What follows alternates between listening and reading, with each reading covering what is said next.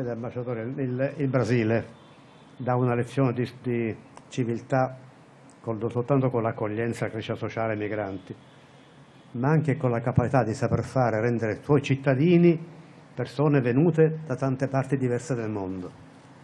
Tutti brasiliani, autenticamente e orgogliosamente brasiliani, pur sapendo di origini di antenati di altri, di altri paesi. Vede, qualche tempo fa un Presidente della Repubblica Europea mi ha detto noi stiamo difendendo la genuina identità autentica degli europei. Io ho risposto, sa, noi siamo dall'epoca dell'impero romano, abbiamo subito immigrazioni, anche invasioni. Lo stesso impero romano era frutto della, della comunanza di etnie, di, di popolazioni, di realtà differenti.